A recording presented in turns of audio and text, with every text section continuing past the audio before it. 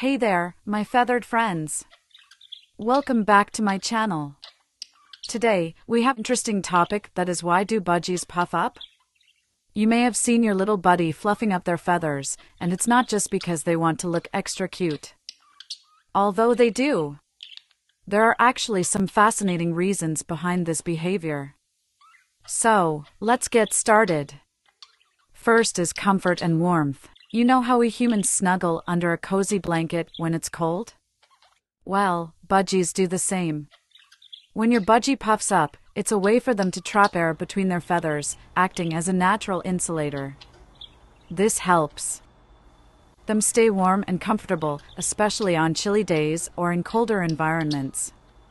Second is relaxation. Sometimes, budgies puff up as a sign of relaxation.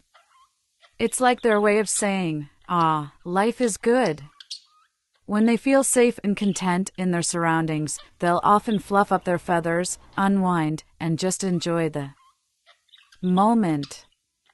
So, if you see your budgie looking extra fluffy, it's a sure sign they are in Zen mode. Third is health check. Did you know that budgies also puff up as a part of their grooming routine? Yes, it's time for a little self care. When a budgie is partaking in their grooming session, they may puff up to access those hard to reach places, making sure their feathers stay clean and in tip top condition. Think of it as their own little spa time. Fourth is displaying dominance. Budgies are social creatures, and within their flock, there is an established hierarchy. When a budgie puffs up and displays its feathers, it's sometimes a way of asserting dominance. It's like they're saying, Hey, I'm the boss here. This behavior is more common among male budgies who are vying for the alpha position. It's a feathery power play. Fifth is feeling threatened. Lastly, if your budgie suddenly puffs up in response to something, it might be a sign that they are feeling threatened or scared.